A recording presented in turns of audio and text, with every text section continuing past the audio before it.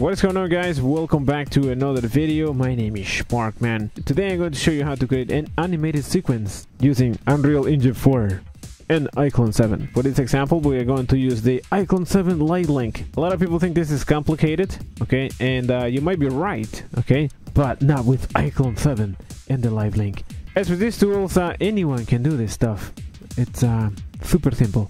Alright guys, before we continue, don't forget to smack the like button and subscribe. Alright guys, so let's open uh, iClone 7 and uh, let's get started. Uh, let me set this uh, to a standard workspace. This is uh, iClone 7. If you don't have it, download it. The link is down below.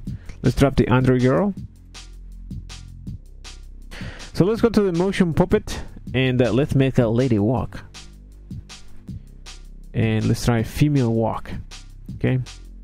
You can adjust this to whatever you want okay that's um that's not too bad there. That looks pretty pretty good. Okay I think the arms need some uh, adjustment. So let me uh, do that now. Just fix the elbows a little bit. That actually looks very good. Just like that. Okay. There's a ton of stuff you can do here. Uh, it's almost way too much to cover in one video okay? But uh, you can just experiment by yourself so there you go guys, the arms are um, not touching the hips and that's what we want. Okay. So, uh, let me um, record this.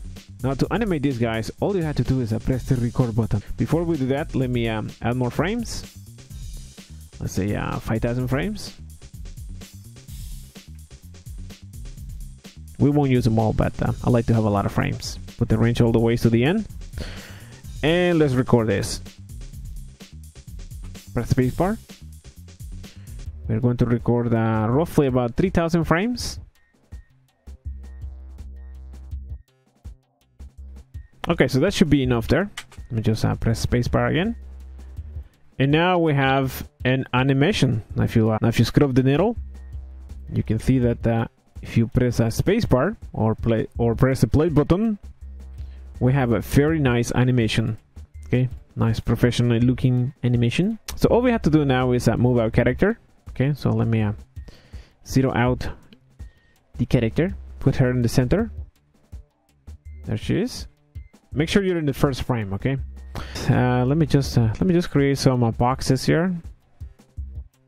A lot of people forget that you can do anything in the iClone 7 I'll place that box there. Place another box somewhere else. And that's just a reference for me okay so I can uh, move the character. Okay she's going to move all the ways up there. So we're gonna go to uh, say around here. And let's move our character. Okay so play this back. And uh, let me set the uh, let me set the transition curve to something more flat, just linear. And that is so there is no gradual acceleration or deceleration. Okay, so let me just set that to linear. And let's see what that looks like. Press play. And that's not too bad there. I mean, you know, you can adjust it to your liking, but that seems pretty normal there. Okay, so now we're going to link this uh, to Unreal Engine. Okay, so let me um, bring out our plugin. If you don't have this plugin, uh, you can download it right now. The link is down below. Uh, I already sent this data already, so all I have to do now is link it. Okay, so uh, I only want to send the the camera and and the girl. Now, if you can't find this window in Unreal Engine, it's here.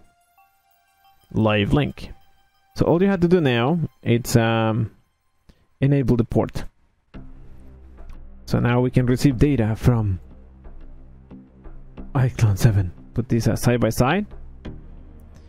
So you see what's happening. Okay, maybe I can close these uh, windows. I don't, don't need those anymore. Close this one too. Let me activate the link. And press play. You can see that uh, our character is moving all the ways out there. There she is. So let me adjust the position. iClone origin actor. Okay, so where's our origin? It's over there. So there is our origin. That's what the icon looks like if you uh, if you get lost. Okay, so let me just adjust the position of our character. Just gonna go through the door there. Right there. So now let's press play.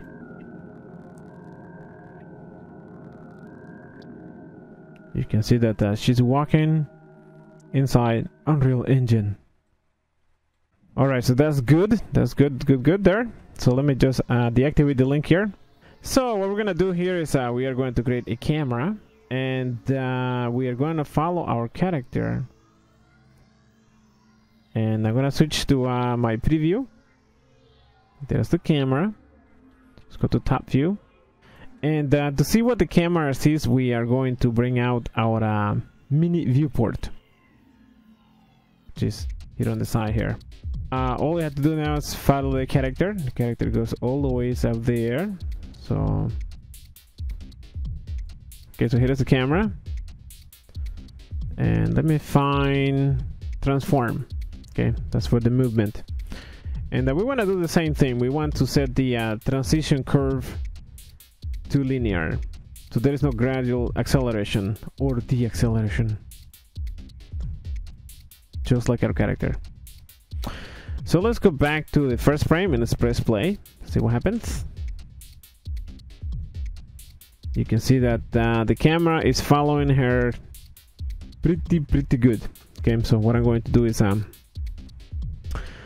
I'm going to adjust the position of the camera in the first in the first frame because this is what the Unreal Engine is going to see over there. Yeah, so whatever you set here, that's what uh, you are going to see in Unreal Engine 4. Guys, this, this used to be very complicated before, but uh, thanks to iClone 7, anyone can do this now. Yeah, so you can impress your friends. Yeah, if you work for the studio, you can impress your boss. Alright, so there you go. Uh, that works fine. So let's link this again. Uh, I'm actually using ray tracing, so you can actually see it here. The, this kind of slows down a little bit when, when you do that. I mean, and that depends on your video card. Okay, so my computer is a dinosaur. So, I turned it off. Alright, so uh, yeah, so if you're having any problems with the frame rate, um, turn it off for the capture. You can render this with ray tracing, no problem. Alright, that's just for the preview, pretty much. Actually, when you click on the camera, you will see uh, ray tracing live. Go to plugins, live link, and uh, this time we want to use the cameras. Okay let's link um, the programs. Okay so we're now linked. And let's press play. That seems fine there. Uh, let me switch to the main camera to the active camera. And let's press play. There you go. Super simple now, to avoid the stuttering there like that, uh, depends on, and I guess that depends on your system. Okay, so if you have an older system, you probably want to turn on uh, frame by frame. Don't forget, it's right here. So watch this now. Super smooth animation. So, so now the next step will be to record this. So let me just set this at the full screen so you can see what's happening. A lot of people think this is complicated, and this is actually extremely simple. Okay, so here we go. You can see the ray tracing on the preview. Let's first add the origin, then our um, character, and the cameras. Uh, I think it's camera um, camera one, and I believe it is the editor camera, just in case. Now under the sequence recorder, you can change stuff here. Make sure you set the um, the length to zero the rest is fine by default. So let's set this uh, side by side again so you can see what's happening. Let's press the record button. Ready?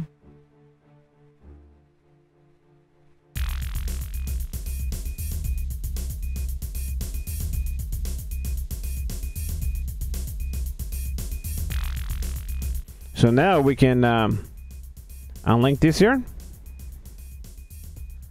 And let's open our sequence. Let me go cinematics, sequence. And let's go to uh, recorded sequences. Select the camera and press play. There you go, guys. Extremely simple. Anyone can do this.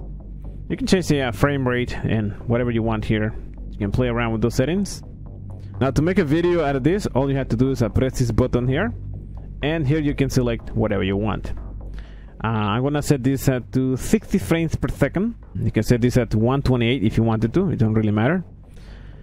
And I'm gonna set this at to super awesome 1920 by 1080. And yeah, so let me uh, capture this, save it. If you have ray tracing enabled, this will render with ray tracing.